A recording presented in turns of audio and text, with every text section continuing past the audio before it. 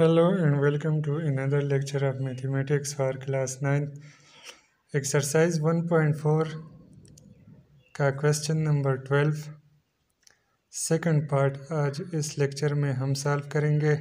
First part हमने पिछले lecture में सॉल्व कर लिया था। अगर वो नहीं देखा है तो चैनल विज़िट करें। आज हम करेंगे सेकंड पार्ट क्वेश्चन नंबर 12 का।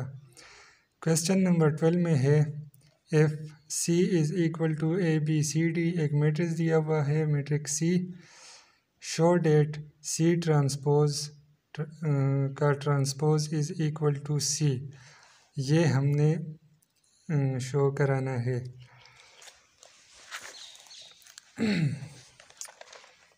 तो किस तरह करते, करेंगे ये हम? कि एक मैट्रिक्स दिया हुआ है मैट्रिक्स सी उसका हमने दो बार ट्रांसपोज लेना है और उससे जो आंसर आना चाहिए, वो वापस वही मैट्रिक्स सी आना चाहिए। तो देखते हैं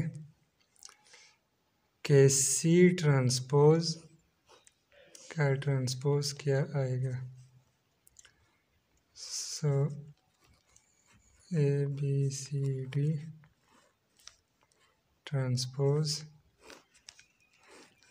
whole transpose क्या कर लिया? अब हम इस हमने कि हमने सी की जगह जो मैट्रिक्स सी था वो पुट कर लिया फिर ट्रांसपोज ले लिया फिर होल ट्रांसपोज ठीक? तो पहले हम ये अंदर वाला ट्रांसपोज लेंगे। सो so, ट्रांसपोज में क्या होगा? कि रोज़ और कॉलम्स इंटरचेंज हो जाएँगे एक दूसरे में। रो कॉलम में चेंज हो जाएगा और जो कॉलम्स है वो रोज़ बन जाएँगे। तो ये फ़र्स्ट रो बन जाएगा, फ़र्स्ट कॉलम, सेकंड रो बन जाएगा, सेकंड कॉलम। ये वाला ट्रांसपोज। ये वाला ट्रांसपोज हमने ले लिया इस मैट्रिक्स पे तो ये मैट्रिक्स बन गया। और ये उसी तरह ट्रांसपोज आ गया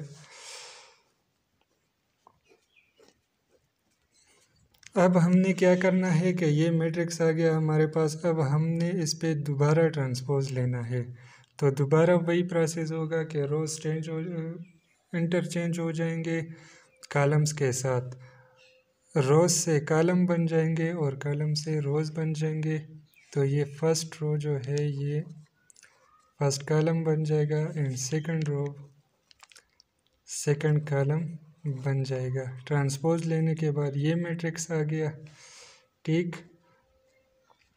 हमने क्वेश्चन में क्या प्रूव करना था कि मैट्रिक्स सी पे दो बार ट्रांसपोज लेने से वापस सी मैट्रिक्स आना चाहिए। तो दो बार हमने ट्रांसपोज ले लिया। अब हम देखेंगे कि ये मैट्रिक्स सी के इक्वल है कि नहीं।